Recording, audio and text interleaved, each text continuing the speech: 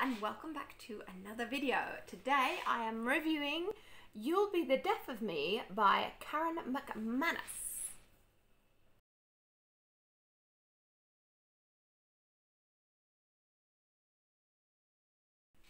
Hi guys.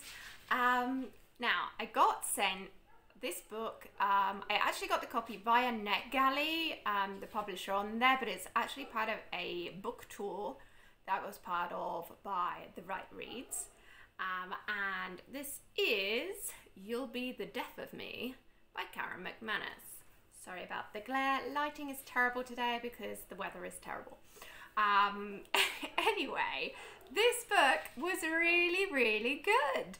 Um, now, I have read and reviewed um, another book by her, which is One of Us is Lying, which I will link up for you. Um, and that was amazing as well. I really enjoyed that. This one, equally, really enjoyed this book. So, Karen McManus, you are getting a fan here. Okay? If you like YA mystery murder kind of stuff, then you really need to check out this author. Just like in general. This particular book, we have three friends. Okay? Now, um, they um, basically, when they were little, they bunked off for the day and had like the greatest day ever.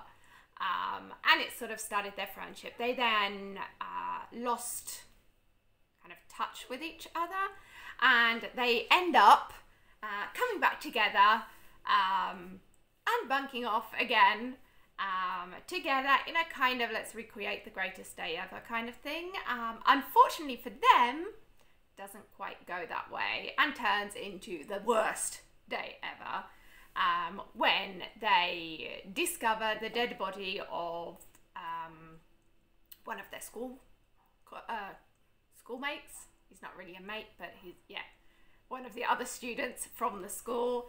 Um, they're in, definitely in the wrong place at the wrong time, and things get all um, complicated, shall we say. Each of the three people has their own secrets and things that they've been keeping, and the story kind of you discover everyone's different secrets and then who is actually behind um, everything else. Now, like I said, this is a YA, okay, so it's not like super complicated to work out, you know, who did it and stuff like that. But that doesn't matter. This was a page turner. It's one of those that you want to read all in like one go. Um, I personally had to read this over two days, but that's because I had other stuff going on and I just didn't have the time to do it in the one go. Um, but I picked it up the next day and I finished it. So it's a nice quick read anyway, definitely one you want to fly through. So there you go. You'll Be the Death of Me by Karen McManus. Now, big question is, have you read any of her books? And if so, which has been your favourite so far? See, I'm actually, I think One of Us is Lying is still my favourite. Um, but then it's also because that's how I discovered the author, you see. And I tend to have like, when there's that book that you're like, oh wow, this was really good. Um, even though like the other books are really good and everything, that that still has a special place for you. You know, the first one that helped you discover the author.